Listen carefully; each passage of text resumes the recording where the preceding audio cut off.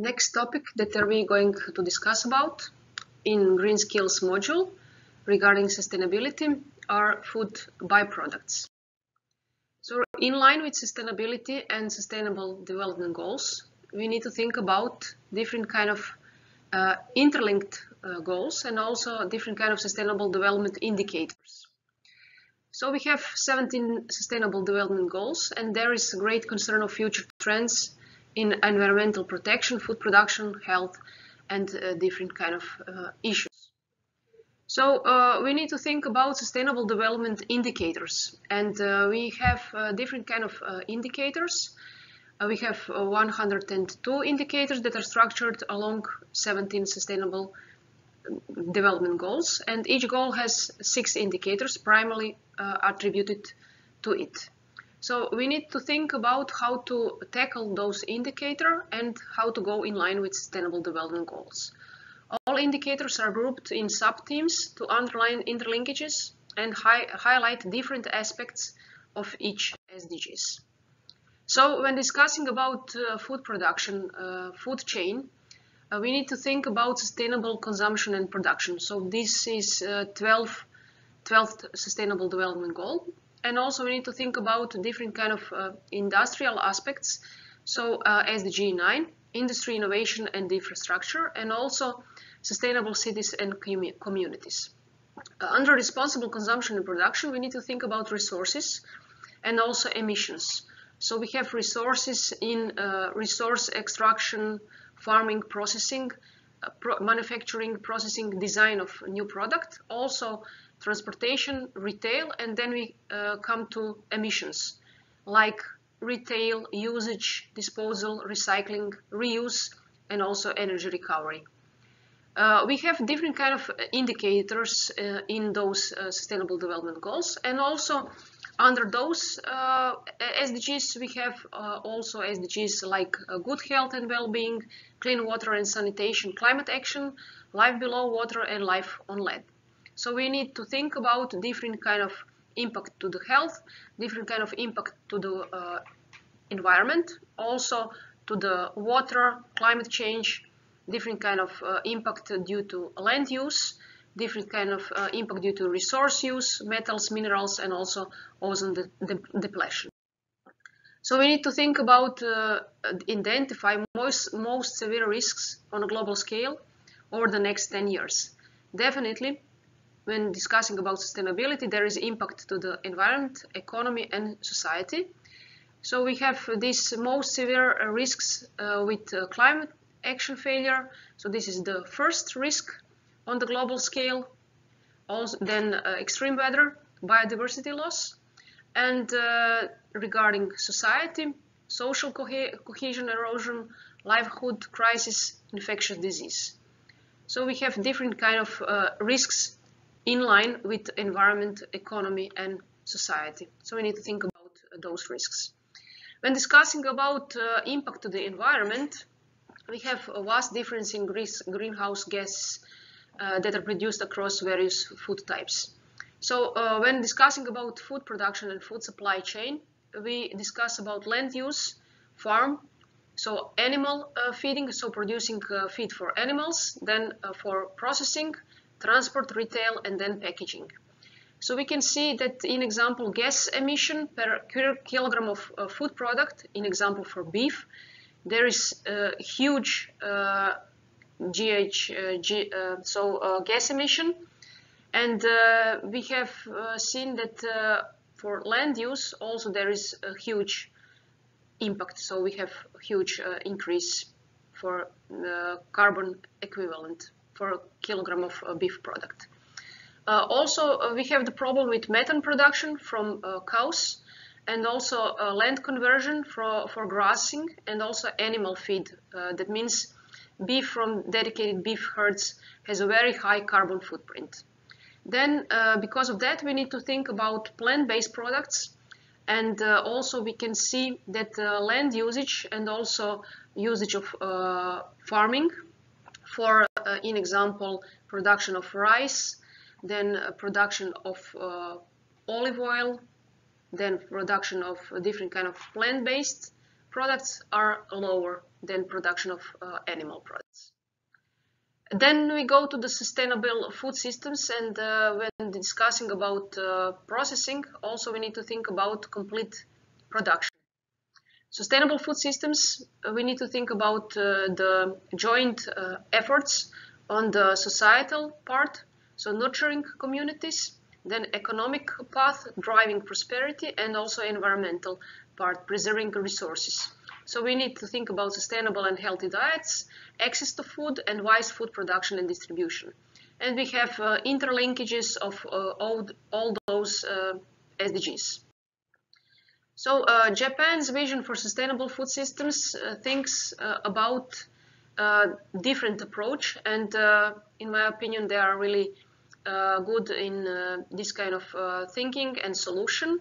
Also, they are implementing a way of uh, uh, innovation and um, combining Industry 4050 and uh, also Society 50.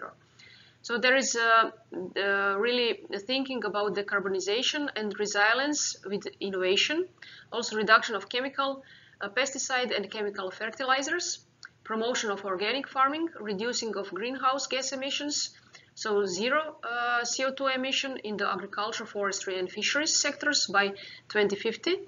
Uh, there is a vision about sustainable sourcing for raw materials, reduction in food loss and waste, also promoting a balanced diet, enhancing the sustainability, sustainable production systems for fishery products, also promoting innovation from rural areas and also promotion uh, of private investment. So we need to think about implementation of policy approaches in collaboration with international community, strengthening food supply chain base, uh, based on the rules for the free and fair trade, and also international contribution uh, to improve nutrition, uh, then eradicate poverty and hunger. So there is also a commitment from uh, stakeholders. Uh, regarding food industry, we need to think about smart industry smart industry approach, and also we need to think about implementation of green technologies. So we need to think about environment, economy, society over optimization, digitalization uh, towards smart factories.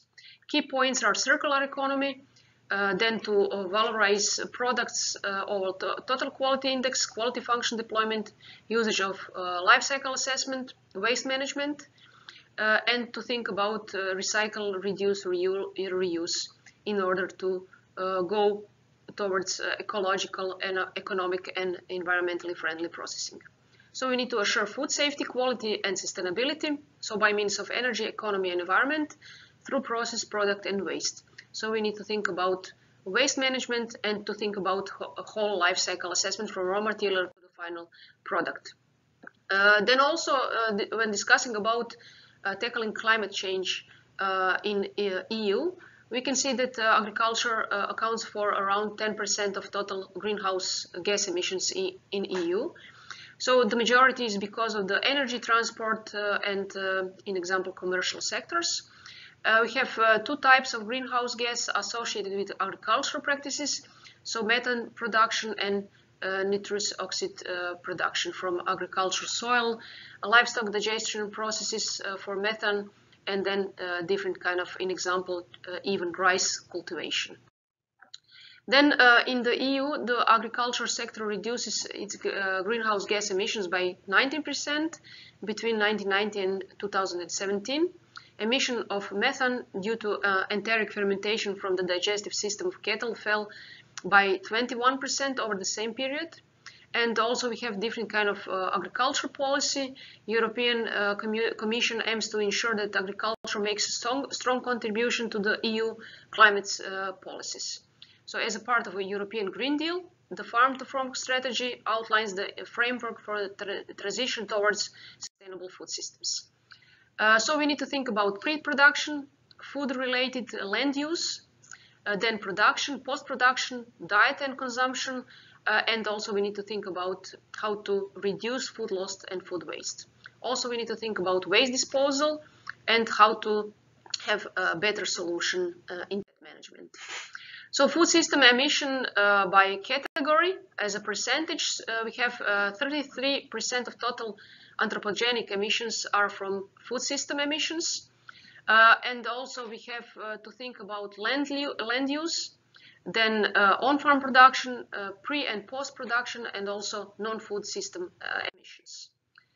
So there is uh, why we need to think about uh, plant products and plant-based diets. So also we need to think about byproducts. So in food industry and also in general and in plant food processing industry, we need to think about potential byproducts and reusage. Also, we have different kind of documents and uh, we uh, have different kind of uh, books uh, on the web, so you can easily find the articles and the books. And uh, we can see uh, that in example, food waste from households is really the majority percentage of, of, food waste and loss. So it's 53%. There is a need for the utilization of uh, waste produced from the food processing industry and also we have diverse uh, food uh, byproducts uh, that are rich in antioxidants and bioactive compounds.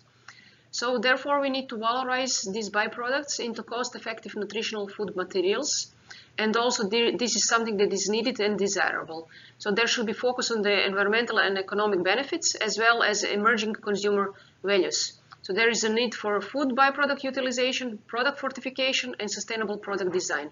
So we need to think about design of sustainable food products or materials, and also emerging consumer behavior towards more environmentally friendly food alternatives. Uh, fruit and vegetable processing uh, generate byproducts in the form of pomace, seed, uh, pulp, peel, or steam. So fruit pomace is the byproduct of the juice in example processing and it may contain a high sugar content. Fruit pomace and peel from various fruits including apple, citrus, grape, different kind of uh, fruits. Uh, they have been studied in extrusion application and also vegetable byproducts include uh, carrot pomace, tomato pomace, cauliflower, uh, and uh, others, they can be uh, really reduced and reused in developing of different kind of products. Uh, these, those byproducts generally contain high total fiber content and bioactive compounds, including uh, polyphenols, antioxidant compounds, and vitamins. And they are also low-cost source of bioactive compounds and vitamins and could be incorporated into food products and offer uh, nutraceutical functionality. Also, we can use fibers from those uh, pomaces. Uh, the idea is definitely to implement uh, those uh, byproducts uh, into functional uh, products. also, we have byproduct of grain milling, include bran, hulk, husk, or pods. And bran contains a high level of insoluble fiber and a significant amount of protein, and in some cases, high amount of fat. So also we have, uh, uh, in addition to high dietary fiber, beta-glucan, the antioxidants compounds are of interest from the wheat bran. So also we have, on the other hand, rice bran, which is also a good source of dietary fiber and also micronutrients and uh, contains a high content of fat that needs to be defeated, defeated, defatted, uh, but also it uh, also contains uh, different kind of enzymes that needs to be stabilized by heat treatment before further utilization. Uh, so the idea is to use those uh, key components of uh, byproducts in developing of functional properties and development of functional food. Uh, we have different kind of uh, project, different kind of uh, research papers that are discussing the potential application of byproducts from waste and also incorporating of those byproducts in development of new products. So you can easily find uh, these links and uh, find examples on the internet. Also, we have uh, uh upcycled uh, uh, activity, and the idea is that, in example, different kind of byproducts, in example, fru fruit pomace, all the fibrous bits left after fruit juice production, and this can be used for the flavor and nutritional content of snack food, in example. Uh, also, uh, we can uh, add byproducts from uh, wheat processing to breakfast cereals and also increase the content of vitamin, minerals and fibers. Uh, flour made from uh, the pulp byproducts of soybean and also almond milk production, which is sold as baking mixtures of upcycled flours and also craft beer that uses surplus unsold bread as a fermentation substrate. So this can be an example how to collect and distribute second tier produce before it goes bad. Uh, also, pe pecan shell flour, dried vegetable uh, peels as soup ingredients and also powders made from waste fruit and vegetables can be added to beverages uh, or snack bars. So we have different kind of examples of health benefits, uh, benefits of vegetable and fruit byproducts. In example, antioxidant activity, antimicrobial and antifungal activity, anti-cancer activity, anti-diabetic and different kind of uh, health-related um, uh, issues than uh, producing functional foods. And also there is uh, definitely to think about protein enriched foods. Uh, then we have uh, example of uh, Food uh, Aranet project that is discussing about sources of proteins and bioactive compounds from agri-food processes that can be uh, used uh, as, uh, in example, reusage of byproducts, wastes, uh, to produce new ingredients. And we can, uh, in example, produce different kind of uh, products that will be rich of proteins and bioactive compounds. So we have added value in those products. Uh, then also uh, we can think about um, new product development uh, and also uh, we need to think about how to uh, valorize process through identification of bioactive compounds, quantification, extraction, pu uh, purification, and incorporating of uh, those uh, byproducts into the new uh, so we can we can see different kind of examples where different kind of byproducts from fruit and vegetable processing can be incorporated in different kind of products. Uh, also, we have uh, a project uh, that is uh, prolific extraction that is uh, discussing about extraction and realization of proteins and bioactive molecules from legumes, fungi, and coffee agro-industrial side streams. And the idea is to use power ultrasound to improve the protein uh, extraction efficiency from coffee and fungi residues. And also, ha they have found that protein extraction from biological sources can be achieved by the alkaline acid precipitation technique. So uh, this is uh, really important for the upscaling and the intensification of processes using a dynamic certification system. So uh, when discussing about food processing, reusage and uh, valorization of byproducts, we need to think about, in general, lean, green, and digitalization towards smart, sustainable, and energy efficient processing with low emission technologies. So nowadays we have different uh, uh, sources that can be uh, uh, used in the product development, also different kind of techniques that can be used in product development like additive technologies, so 3D printing, and also we have uh, examples that you can find uh, in terms of uh, research papers, in terms of project, in terms of product development. In example, 3D printed algae that can can makes uh, new products and uh, really sustainable uh, resourcing of algae in production of new. Also, uh, the vision of food in 2050, so uh, bacon grown on blades of grass or bioreactor chicken nuggets.